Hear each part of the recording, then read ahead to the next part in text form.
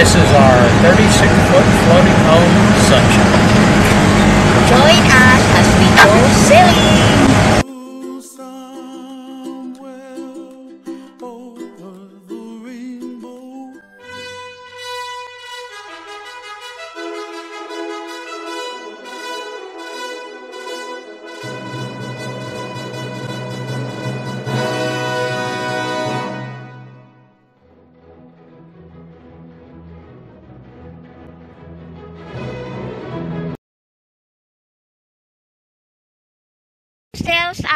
Because our main sails is no good.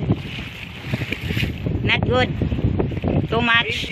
Too much patches. So replace try sails and hit cells and sea cells that we use for today or this time because we haven't the main sails So we replaced it by using the try sails.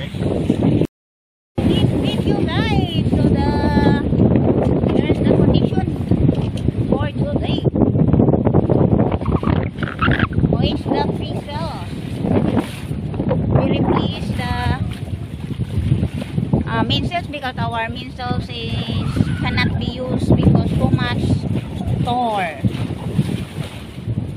Too much patches so we You know what it. Hello, folks. You want to know what it's really like sailing in the wild and the crazy? I can't believe this Indian Ocean.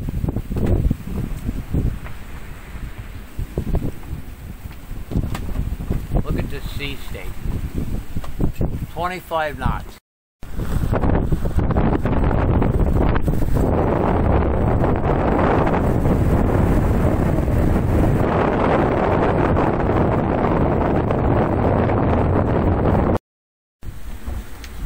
Well, I gave it a shot anyway. Really hard to hold on and uh, run the camera at the same time. You saw my uh, bright orange trysail. It was virtually brand new. I bought it before I left Florida, specifically for this boat. Uh, it was sold as a used sail, although it was uh, brand new. I don't think it ever been used. It's sure getting to work out on this trip though, because I've been using it exclusively since the mainsail blew out. Anyway, this is another one of these feisty squalls. I don't know if it's a squall or a storm. Just almost every day, constant. Uh, every couple hours or so, one of these things will blow through. Some of them get pretty strong. We had one the other after, yesterday afternoon, I think it was. Must have been blowing 50 knots. Lasted for much longer than the normal 15 or 20 minute squall. That one, uh, beginning to end, was a couple hours. And uh, it was a bit of a wild ride. We were screaming along, probably making eight knots.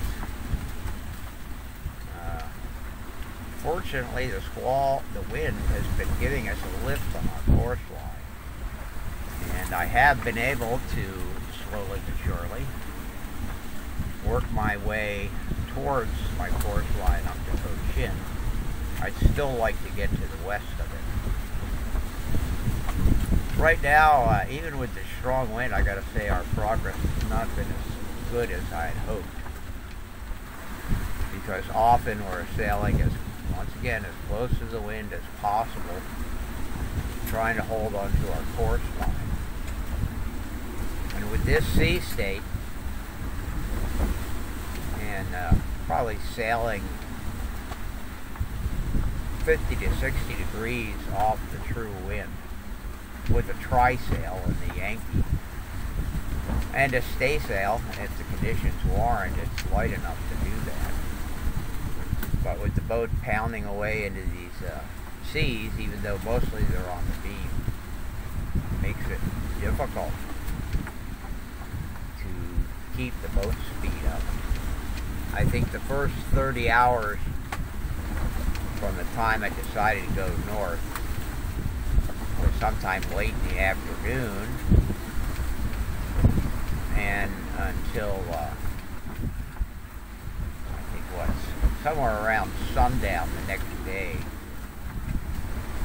I was later than sundown.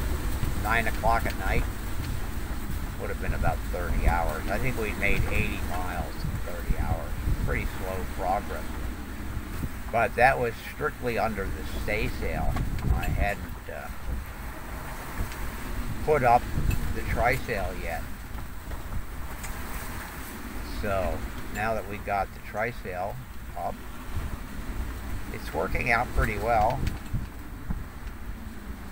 But even considering the conditions right now, we're maybe making three knots. 25 knots of wind, we're going three knots. Because I got to hold the bow up closer to the wind. Can't ease the sheets, sail off too far to the east. I mean, if the wind shifted to southwest, which is where it's supposed to be blowing from, we would be flying along. But since I'm close reaching, we're crawling. Anyway, I don't know, I think it's Thursday morning, about 9 o'clock or something. I don't know if you can hear it in the background, but the wind is howling through the rigging for sure.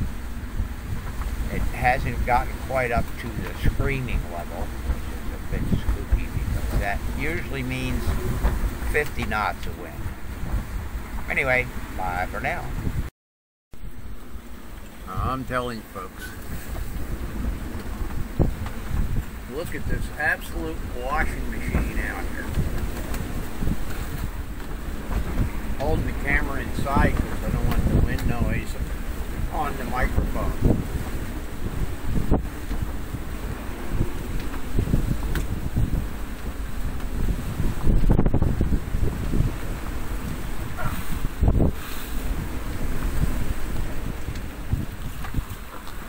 Her, a little splashy trying to jump in the cockpit with us.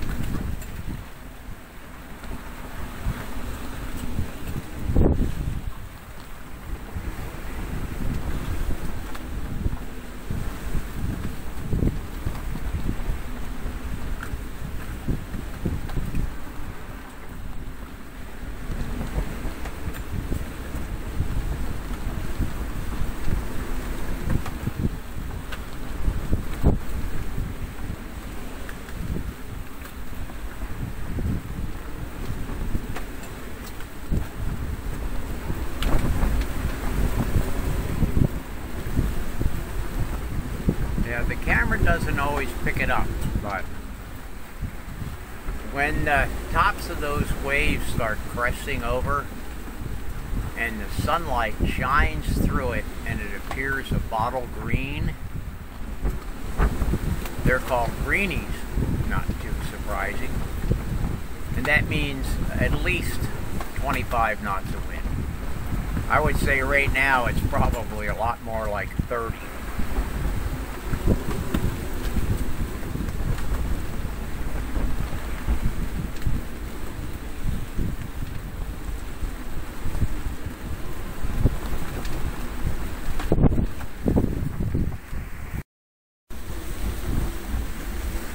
Well, folks, I made a little mistake in those earlier videos. I thought it was about 9 o'clock ship's time. It was actually a little bit after 7. Now, it's just about 10 a.m. And if anything, the wind has increased again. I would say we're in gale force, gale force winds, 35 knots, steady. And the rain is pretty steady also. Not super heavy, but it is a constant rain. You can see the sky out there is white haze. Well, that's the rain coming down.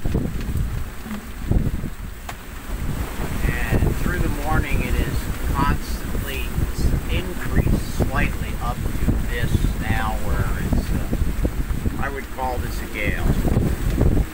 Not a whole gale. Whole gale is 45 knots.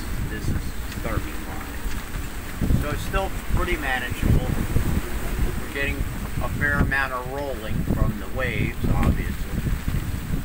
Got just the trysail up. I took the Yankee down some time ago. And uh, we're still just bopping along more or less on our course line, I think. But still not going all that fast. Three and a half knots maybe, something like that. Just the same thing, you gotta hold the boat up to the wind as much as possible to stay on the course line.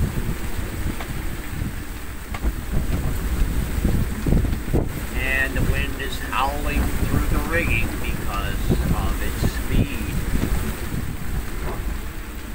And of course having the dinghy back there on quarter acts like a big sail, which uh, helps uh, push the stern of the boat away from the wind, thereby giving uh, sort of a false weather helm in conditions like this where the wind is towards the beam. We're still close reaching a little bit. Interestingly enough, ever since I decided to head north, I haven't been using the wind vane or the autopilot. I just got the wheel lashed. I'm now about one and three quarter spokes of weather helm. And uh, that's holding a pretty steady course. The boat doesn't fall off, it doesn't round up. I sometimes have to add a little bit more as the wind is increased. I went from a, about a spoke earlier today to a spoke and a half, and now I'm up to a spoke and three quarters to keep the boat on course. So, I don't know what, this is obviously a storm, but it's not a circular storm because the wind is constantly blowing from the same direction. Almost certainly some kind of a low pressure somewhere generating all this wind. I'm just hoping that it eases off enough as we get further north because we're going to have to go through that shipping channel again where the ships come around or go around the south end of Sri Lanka as they're heading east and west. Before I was hoping we would get through that shipping lane on the first day, but it took until pretty much the end of the second day, including the first day, to get through the shipping lane because the ships spread out a bit to the north and south, those that are going east and west. So I would definitely prefer not to have to go through that shipping lane in conditions like this.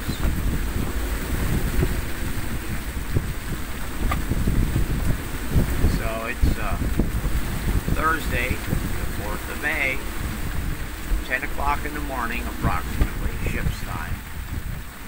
Although we're going to have to shift back to uh, India time, which is that weird half hour off. Central Indian time is a half hour. It's between the two time zones. Between uh, five and six hours ahead of GMT. So it's five and a half hours ahead of GMT in Central India time. Bye for now.